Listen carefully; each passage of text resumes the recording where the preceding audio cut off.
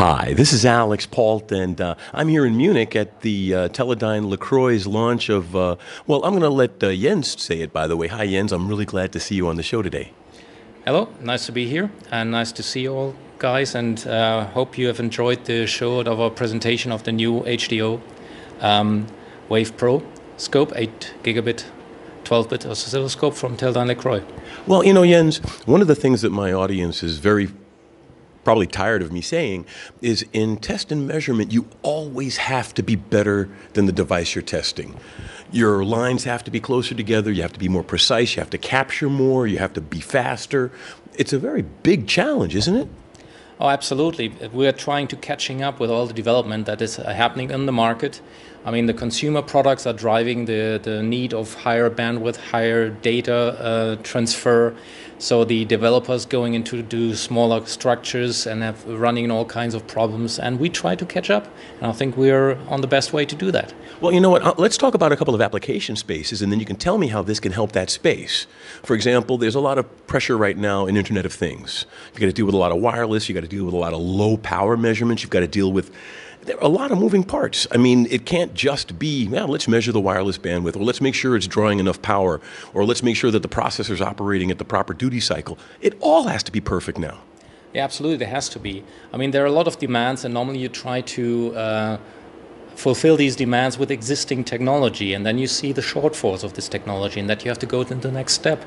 I mean, if you say, well, okay, there's the bandwidth, and I can transfer all my data, but uh, maybe I cannot uh, reach the data rate I need to have, so to, to get my video, my, my audio, my, my sensor data uh, across, and so you have to change all these things, and you have to go into next step, and maybe your existing hardware is not sufficient, and then you have to go into uncharted territory, and then you figure out, okay, now I have to deal with uh, these low power requirements, like you said. I mean, when you look at the normal device, it has not only like a cell phone, it has all kinds of sensors. And we look at the Internet of Things, the health application, the Fitbits that are around and taking all kinds of things. You have to bring all of these things together. And this is a, quite a challenge and, and drives the industry. Now, Jens, why don't you give us a quick rundown on exactly the main specs of this so that way our audience will have an idea of what it can do for them? Yeah, the point is that uh, for a couple of years already, since uh, 2011, we are dealing with 12-bit oscilloscopes. We are having uh, a product range of, of, different kinds of oscilloscopes, but they were limited so far for one gigahertz of application, which is sufficient for a lot of applications. But we're running into to all kinds of things when it goes into deep embedded uh, um, processors, uh, CPUs, what kind of uh, measurements we have to do. We have to deal with some jitter, some crosstalk between components. And this unit here, the, the new uh, Wave Pro HD, going up to 8 giga, uh, gigahertz in bandwidth, and still keeping at the full bandwidth the 12 bit resolution, including with the uh, new front end that uh, ensures that we will have the best. Uh, best noise level, very low noise level, and that the, the users really capable of using all the, the, the um, advantages that a 12-bit resolution at 8 gigabits uh, gigahertz can can provide. Well, you know, Jens, one another thing that my audience is uh, probably not so fond of hearing me say, but I say it quite often is, I like to compare a lot of things to high-end audio. And you could have fantastic amplification, but if you have high noise, what are you amplifying? You know, so I think the fact that you're addressing both the bandwidth and the noise levels is critical. Yeah, absolutely. I mean, since the beginning, we are using uh, these HD4096 uh, uh, technology, like we call it, and this is basically the whole package. You can take an, an 12-bit ADC. You can even take a higher bit uh, ADC into to an oscilloscope. But you know, all the rest of it, the all the architecture, the signal processing architecture, the front end, this is made for for what is absolutely needed and not much more.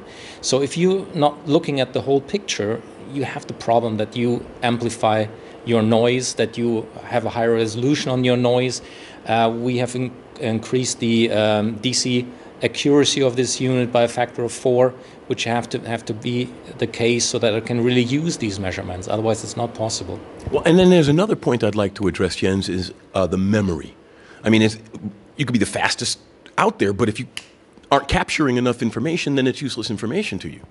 Yeah, absolutely. And, and with this uh, new generation of oscilloscopes, we've really made a, a quantum leap in, in, the, in the new structure and new devices and new chipsets that we're using here.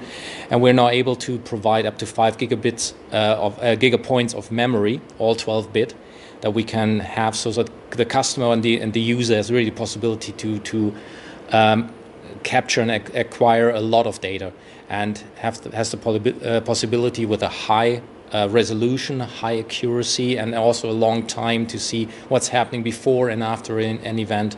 So this is really a requirement that we had from from from our customer base, from our users, and now we can fulfill it in a, in a very good and, and nice fashion here.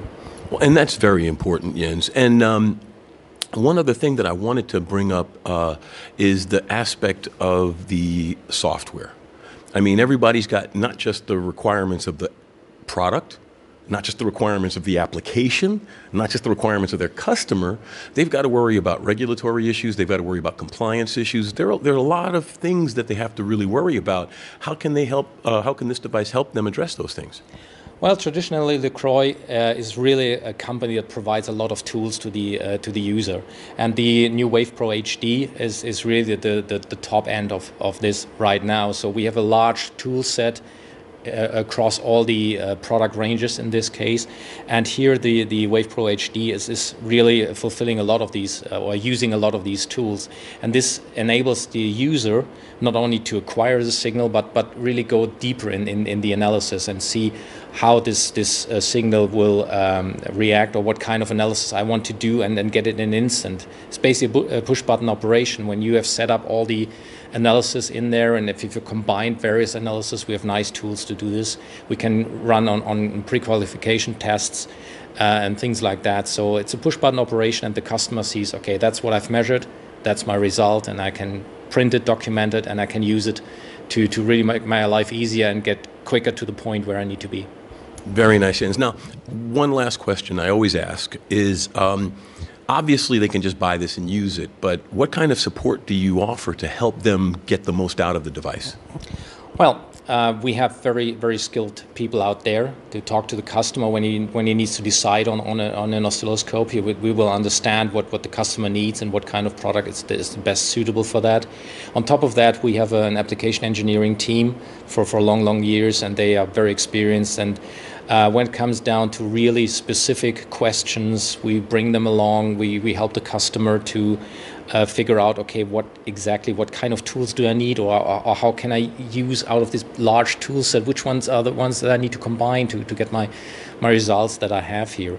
and and also this application engineering teams is at hand to to every every customer every user to to send an email give them a call so that they can respond to to uh, immediate questions immediate issues say well i can't see this this signal why why is this give me some idea give, me a help and and this is working for years and years and uh, our team is very experienced and helps the the user on that well, I think that's critical for the engineer because everybody uh, expects the engineer to be Mr. Wizard, but they need help sometimes just like everyone else does.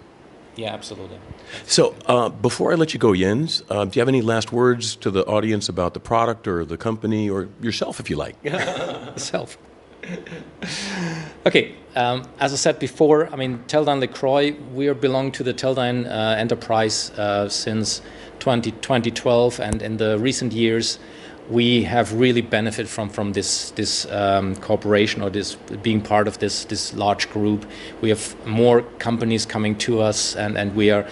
Uh, increasing our product portfolio, we're going into a, a lot of these Internet of Things uh, application, autom- autonomous driving. All these future technologies will will help, and with all the, the Teledyne family behind us this product here now, we're very proud of this because it's the next generation of product. It may, may look like a simple oscilloscope, but it's really a quantum leap that we've done here from the internal stuff and gives us a lot of potential for the future. Hey, thanks very much, Jens. I really appreciate you taking the time to be with me today. Thank you very much. And I'd like to thank all of you. And uh, if you're interested in more content of this nature, please subscribe.